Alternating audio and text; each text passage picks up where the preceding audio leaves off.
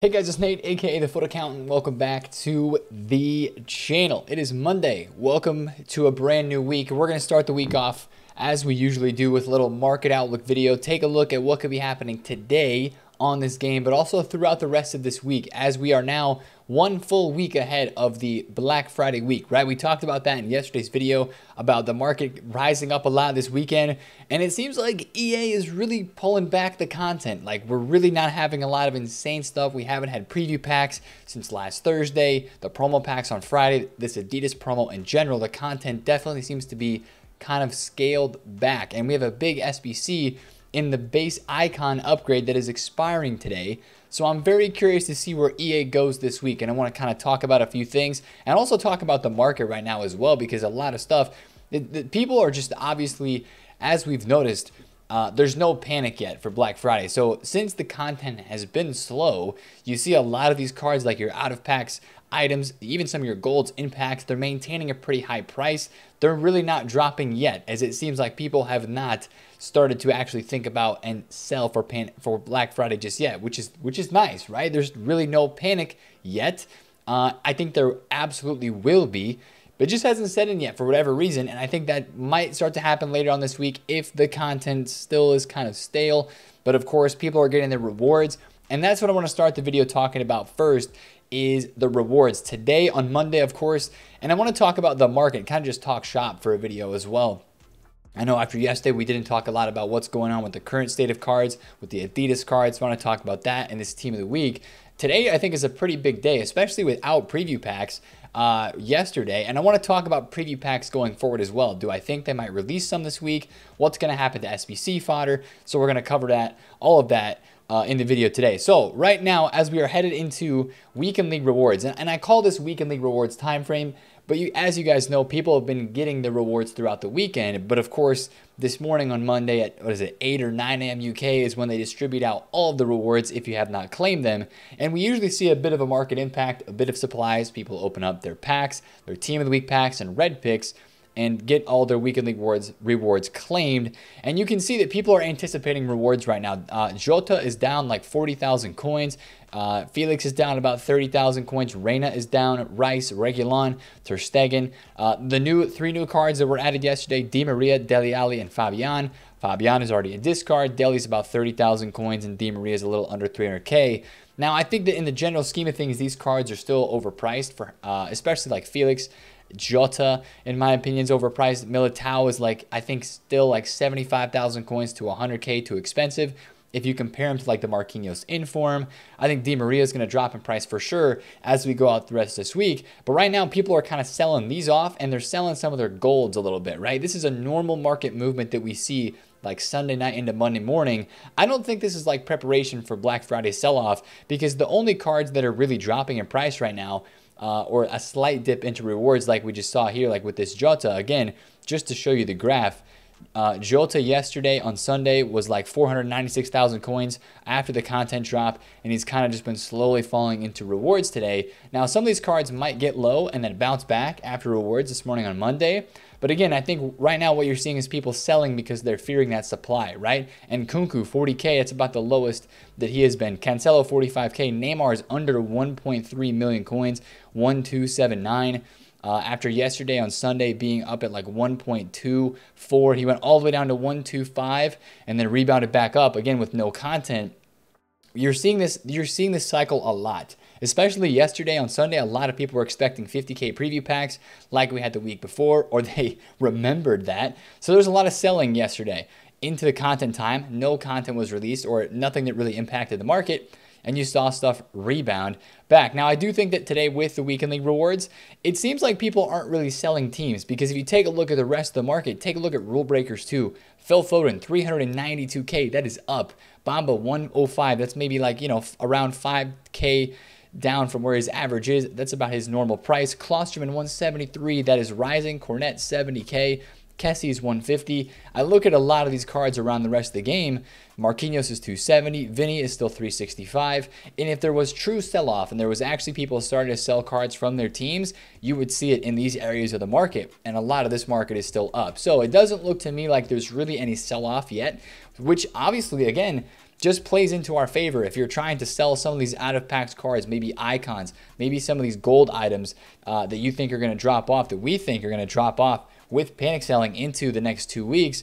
This is again another perfect opportunity. EA is like allowing us to get our cards out here, honestly, if you look at it that way, since they're not releasing some insane content. So you might see some of these golds bounce back, like Heung-min Son is a popular card that bounced back a lot this past week. He was, yesterday on Sunday, he reached a peak of 92, 93, 94,000 coins with literally not much supply yesterday at all, and now he's down to 88k. So we'll see if these cards get any lower at rewards. Some of these golds might bounce back up. Mane's 133. Uh, okay, that's that's decently low for Mane. Usually he's like he was 140. Okay, 146. Yeah, it's decently low. So like if I could snag this at 130, uh, maybe tonight before rewards, if there's enough sell-off, I think you would see a bit of a bounce back on that. Now again, with rewards today, there's going to be a little bit of supply. You're probably going to see these Adidas numbers up cards you know, rise back up after the content or after the weekend league rewards are released. That's a normal rewards movement. Now, if you didn't see them rise up today, that would make me think, all right, people are not buying teams and people are kind of starting to lean towards the Black Friday mojo of, I'm not going to buy cards for my team right now. I'm going to be waiting and seeing what comes out and kind of starting to sit on like untradables and stuff. But I really don't feel like that's how it's going to be. I feel like people are going to buy some cards today. Again, I don't think there's a lot of fear in the whole market. There's not a lot of fear yet. But I, am wondering, and this is what I wanted to talk about today too, is kind of how EA has been pulling back the content. Yesterday, or last week, not yesterday, last week was a crazy week, right? We had the base icon upgrade last Monday, a week ago. We, of course, had the 50K preview packs. Then on Tuesday, we had the 81 to 86 packs. Then on Thursday, we had 25K preview packs. It's just been, it's been crazy content, right? There's been a lot of SBCs, uh, you know, not all good value player SBCs that were released last week. But specifically with this base icon upgrade, we had uh, the league SBCs. We have icons dropping in the game now. We had an icon yesterday in Beckham. Again, these, these SBCs are terrible value. I, I, I do not understand why they're valuing these cards. Um, in my opinion, they're just not that great of value. I mean, and the, the cards that they're releasing at the moment they're just not that great. But I guess we got to start somewhere. So at least they're releasing SBCs this early in the game, which is decently nice for some of those icons. If that's a player that is really meaningful for you that you want to have in your squad or kind of collect their card and have it untradeable for the rest of the year, I understand that for sure. Um, but again, the, the number one thing that I'm watching this week is the preview packs, right? And I think this is the perfect opportunity for EA Sports this week to kind of pull back the reins on the content, make it a, a little bit more chill in a sense. Make it a bit more chill. And last week we had a crazy week. This week they can kind of make it pulled back a little bit. Then they can maybe, if they want to, I don't know if they're going to run a promo after Adidas because this promo looks like it's just a one week promo, but maybe they start building the hype for Black Friday just a little bit. I don't know if they're going to do that a whole week ahead of time or not. Um, but maybe time for like a quick one week promo and then Black Friday. So I think that this might be they do this sometimes a lot with with their tactics, right? They know that keeping the hype levels moving up and down creates more interaction with their game because if it was always at the top, if the if content was always at peak levels all the time, then we wouldn't have a desire for like content to, to get that much better, right? And it wouldn't create these fluctuations where they can really pull on people's heartstrings when content is not that good and leaves us wanting more, then they give us more and we're like all into it. You know what I'm saying? So EA, I think right now is kind of pulling back the content a little bit. At least they have this weekend. Now, I'm wondering if this SBC is going to get re-released today. I feel like maybe a better, like more higher likely percentage of an SBC that could be released today with this base icon upgrade going away is maybe they would release the hero upgrade again. I don't think that's that's definitely not confirmed at all. Um, that's just me kind of thinking if they were going to release some sort of pack today, maybe the hero upgrade makes another appearance. We will have to see. But with this SBC going away, I know we still have Player of the Month Salah that is out, but you're already starting to see some of that SBC fodder drop off. This is kind of like if you still have some fodder in your club last chance and you want to sell it, this is probably a good opportunity to do so as you're already starting to see some of these 88 rated 89s. Like Harry Kane is 48,000 coins. On Thursday, he was like 52K or something crazy like that. Um, on the or that was even on the weekend, like Saturday. So a lot of these these higher rated fodder cards have started to dip dip off, and I think if there's no new base icon, there's no new um, SBC for a hero upgrade today. I think these would continue to drop down, even if we don't have a lot of like supply from preview packs or from promo packs. I mean, there just will be less demand, and you're going to see that SBC for Mohamed Salah start to look a lot more tempting. Right now, 824,000 coins. I even said when this was released, I said, hey, after the base icon goes away, I tweeted this out. This guy's going to be under 800,000 coins if the base icon goes away and nothing else replaces it. And he's already well on his way there. Reward supply today, base icon going away. I think this, this SBC is going to get decent amount cheaper, especially as your higher tier, like your 88, your 89 rated cards. These guys might dip back down, like Toni Kroos might be back into that 22 to 24K range in the next couple of days if there is no crazy demand that is released. Of course, you still have 84s that are up a little bit. I think that base icon going away might pull some of those cards down as well. So that's the number one thing that I'm curious about on this week though with this game is I mean other than you know, today on Monday usually being an upgrade packs day, I would expect some sort of upgrade packs being live for the Adidas promo for team uh, number one or the only team that we're going to have of this Adidas promo. I think I would expect that. Um, from EA Sports today. They've been dropping upgrade packs basically for every single promo, at least for the first week. And I honestly think that they're going to continue that. And I, I, wouldn't see why they would skip over this Adidas promo uh, with these cards on the market at the moment. So I, I would intend to see upgrade packs today. Don't know entirely what, uh, I guess you could say, player picks. I don't know if they're going to be just regular upgrade packs like a 70. Um, the 78 plus player pick. Now, the one thing that we have seen added to the code, um, I think it was like two weeks ago or last week before this promo was dropped, is they added a 82 plus pace, 82 plus dribble, 82 plus passing upgrade pack. So I'll be curious to see if that is released this week. And then basically along with that, will we get preview packs this week? If EA is really trying to downplay things and make things quieter on the game this week, which we're going to kind of find out, of course, as the week goes on, I'm just really curious to see if they want to supply the market more with preview packs or if they want to chill it out a little bit. Now, all of these packs here in the store are expiring today on Monday.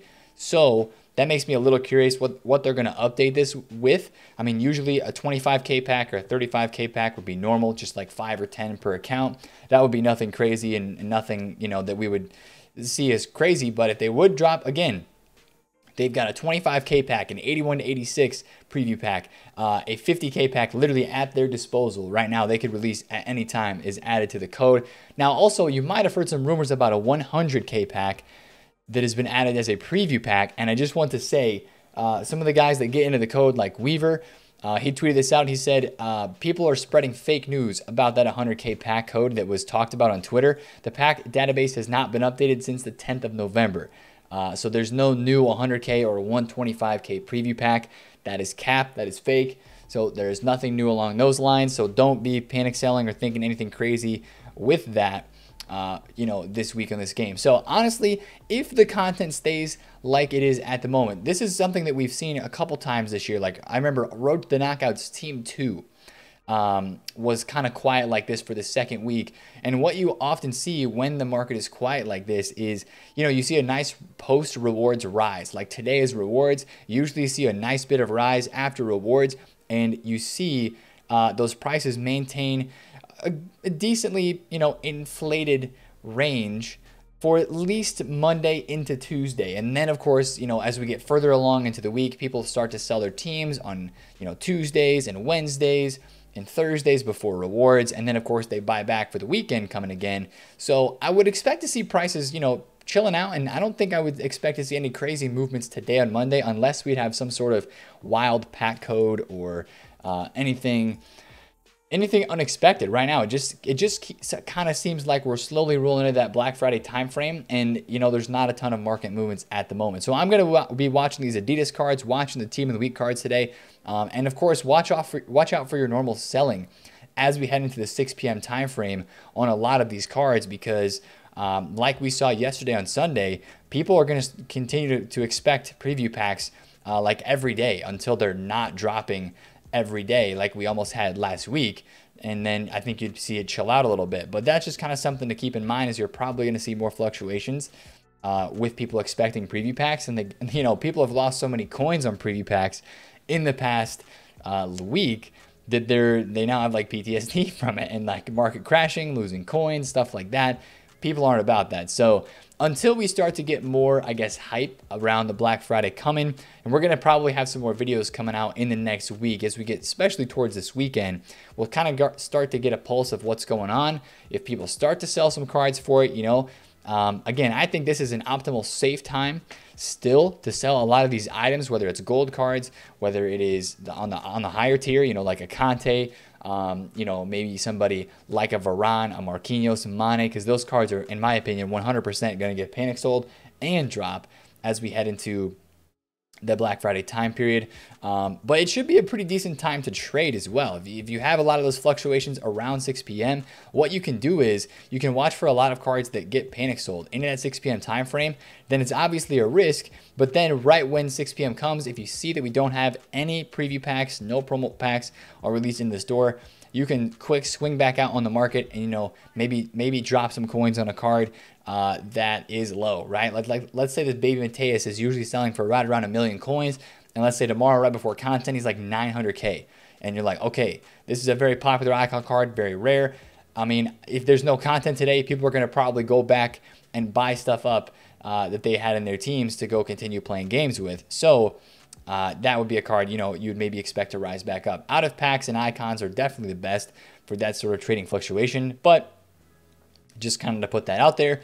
Uh, that is one thing that you could watch for any any day throughout this week uh, if there is no true panic uh, as we head into any of the content drop days this week. Now, one thing I think Bundesliga Player of the Month would be something I'd be keeping an eye out for, uh, and also I'd watch for this Team of the Week. This Team of the Week isn't really that supplied. They only had to endure one set of preview packs. They had to endure the eight, the 25k plus preview packs that were released on Thursday when they were in packs, and then also, um, you know, just 50k packs in the store over the weekend. That's not a lot of supply. So if we get to Wednesday, um, or even today with rewards, if you want to take a look at an opportunity of maybe buying some of these informs, like maybe it's a Neymar uh, for a short term flip, right? This wouldn't be for a buy and invest and a hold, but maybe a Neymar, Goretzka, uh, and Nkunku or Cancelo. I would take a look at some of those guys today at rewards because you might see a quick rise in them, right? Let's say today it rewards Cancelo. Uh, I mean, with the links that this provides, with the Portuguese links, a lot of people uh, have used Cancelo this year on the right side. Cancelo right now is showing as 44,000 coins on Futbin. That might have been a little bit of an undercut, but you know, maybe it rewards time this guy drops down an extra 3, 4,000 coins. You can snag him on bid with a chem style. You know, people might go out and try to invest these cards today, and this looks like it could be a decent team of the week to invest in, especially as it heads out of packs. If we don't have any preview packs, again, I would focus on the meta cards like the Neymar. I mean, Neymar is a really rare item on this market as well in terms of a team of the week card. So I would I would keep an eye on Neymar. He could have the same fluctuation as he had yesterday. Um, he could he could literally go from like 1.25 million coins. He could jump up like 70, 80,000 coins at a moment's notice after rewards tomorrow and, and into the day if there is no content uh, or it's it's not as expected. So maybe EA, this is the other opportunity and the other flip of the coin for this. Maybe EA is just going to go absolutely crazy with content this week uh, after a slow weekend. I, I, that could happen, but I, I really don't see it. I really don't see that happening um, because last weekend obviously they went crazy with the preview packs and with the base icon SBC. And since that's going away, I mean, it really just seems like it's going to be a slower week this week. And I'm fine with that. I really am fine with that as long as we get a few, maybe uh, an SBC or two more for the Adidas Numbers Up promo. Uh, and I'm really curious as we get towards the end of this week. Bundesliga Player of the Month on Thursday. That's the only other thing that I'm kind of like expecting, right? Bundesliga Player of the Month on Thursday. That's like the only thing that would be kind of set in stone, if you will, for coming later on this week. Upgrade packs today. Um, I'm, I'm honestly really curious to see what EA do this week, and I'm really curious to start to watch the market as well. So this is kind of just one of those times on the game where it's like puzzling in a sense where I'm, I'm just kind of curious to see where the market goes. Now, I'm going to buy some cards and give it a shot and try to make some coins, of course, um, because it, it, definitely does not seem like people are panicking yet uh, and like super duper. I got to sell everything because Black Friday is coming. Like that stage of, of panic or preparation has 100% not affected the market just yet. So we'll try to trade on this market this week. I think you will see a lot of people still going out and buying cards, investing a little bit, trying players out for their team, and that could make some for some good fluctuations uh, this week on this game. But I'm really curious. Number one thing is today on Monday, do they, do they replace this base icon SBC with anything else? Do we get upgrade packs? Number one, does anybody want to do upgrade packs for this promo team? I mean, I might do a couple because there's two Spurs players in packs and I like Spurs, so maybe try to help the untradeable club out a little bit with Reguilon and Dele Alli just for fun. But is there really that much demand for those? Not really. Um, you know, a, a lot of people are asking about icon swaps. That's another thing that we need. We need information from EA Sports about when and how long the different versions of icons are going to be in packs, when and how they're going to upgrade heroes. They can keep that one a little bit of a secret if they want.